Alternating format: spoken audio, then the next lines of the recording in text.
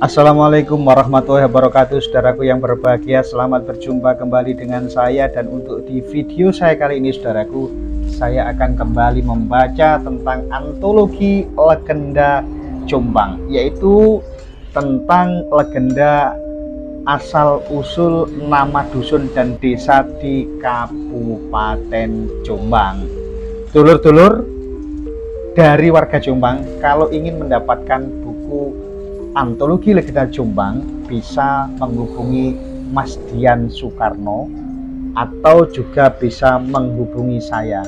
Ini adalah buku antologi legenda Jombang yang mau saya bacakan. Untuk membaca saya kali ini saudaraku yaitu tentang asal usul eh, nama desa Gedang Keret.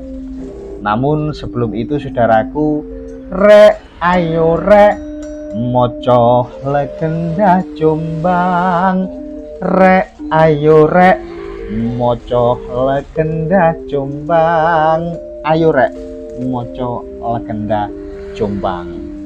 Saat ini yaitu tentang asal usul dusun atau desa Gedang Kret saya sapa dulu piye kabare dulur-dulur Gedang Kret Jombang Semoga saja senantiasa sehat-sehat, rezeki diparingi lancar barokah, aman, tentram, terkendali. Dulur-dulur gedang keren. Salam kenal dari saya, Cak Eko Junaidi. Terima kasih. Langsung saja saudaraku, Bismillahirrohmanirrohim. Waktu telah menunjukkan tengah hari babat alas atau pembukaan hutan untuk daerah pemukiman baru yang dilakukan Raden Subanjar dan Raden Jumpono pun sudah sangat luas. Bahkan sudah menghasilkan nama baru. Mengingat sudah masuk waktu sholat duhur, akhirnya Raden Jumpono mengajak Raden Subanjar untuk beristirahat bareng sejenak sambil mencari air wudhu. Tanpa menunggu lama saudaraku Raden Subanjar menyetujui ajakan Raden Jumpono. Kedua bangsawan itu segera berjalan ke selatan. Mereka meyakini bahwa hutan yang dibabat memiliki banyak sumber air.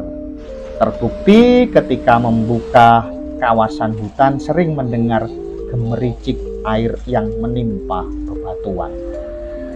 Angin bertiup sepoi, mengajak lembut, menyapu lembut wajah kedua bangsawan itu, yaitu Raden Subanjar dan Raden Jumpono. Hawa ngantuk mulai menyerang. Namun keduanya bersepakat tidak akan tidur dulu sebelum melaksanakan sholat duhur. Untuk melaksanakan salah satu kewajiban rukun Islam ini, mereka harus menemukan air wudhu. Sehingga sesuai kesepakatan, mereka terus berjalan menuju arah selatan. Mengapa harus ke selatan? Karena suara-suara air yang dibawa tiupan angin itu ternyata berasal dari arah selatan. Semakin ke selatan tingkat kerapatan pepohonan dan semak belukar semakin menjadi artinya semakin lebatlah hutan yang dilalui. Raden Jumpono mengajak Raden Subanjar untuk berteduh di kerindangan kayu hutan. Di tengah mereka beristirahat, tiba-tiba Raden Subanjar mendengar bunyi keret-keret Berkatalah Raden Subanjar kepada Raden Jumpono, "Wahai Raden Jumpono, tidakkah kamu mendengar suara keret-keret? Coba Raden periksa, apakah itu suara lelembut ataukah suara manusia?"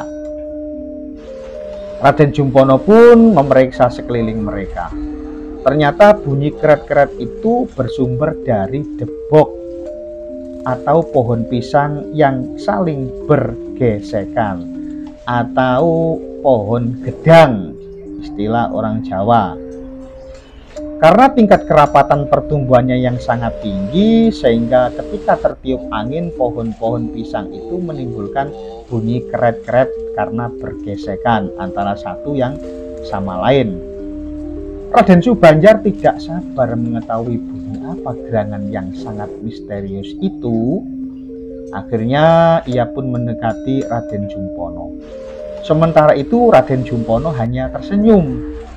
Jangan khawatir Raden, suara itu hanya gesekan pohon pisang atau pohon gedang, wit gedang istilah jumbangannya.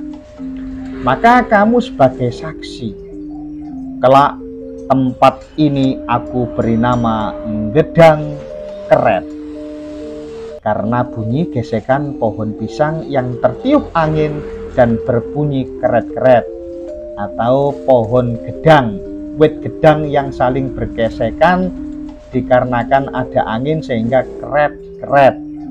Nah, setelah menamakan gedang keret, Raden Jumpono dan Raden Subanjar melanjutkan perjalanan. Saudaraku, itulah tadi belajar kita atau membaca kita tentang legenda antologi Kota Jombang terkait dengan nama-nama desa, nama-nama dusun, asal-usul nama dusun, asal-usul nama desa. Narasumber dari legenda ini adalah Ibu Nur Alifah, Kepala Sekolah Madrasah Ibtidaiyah Nurul Ahmad Banjardowo dari almarhum Den Sastro alias Bapak Abdul Rahman. Saudaraku, mudah-mudahan apa yang saya sampaikan bermanfaat untuk kita, khususnya bolo-bolo Jombang, Jombang Kota Santri, Jombang beriman. Terima kasih, ikuti saya terus di Tembelang TV. Saya akhiri, Allahumma fiq ila Wassalamualaikum warahmatullahi wabarakatuh.